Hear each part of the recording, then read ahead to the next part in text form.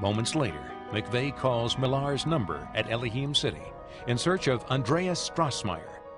Although Millar's daughter-in-law later claims that the two men never connected, a few days later, witnesses claim to have seen McVeigh at Lady Godiva's, a Tulsa, Oklahoma strip club, in the company of a man with a dark complexion and another man with a German accent.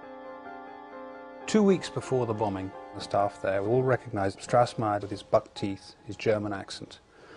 At one point, however, uh, McVeigh starts bragging about the bombing.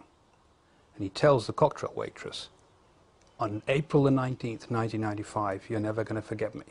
She comes out of the out of the restaurant into the changing rooms and tells the other girls about it. And that is caught on camera contemporaneously on a videotape. It's very powerful evidence. Because I'm a very smart man. I said, you are? And he goes, yeah. And you're going to remember me on April 1995. You're going to remember me for the rest of your life.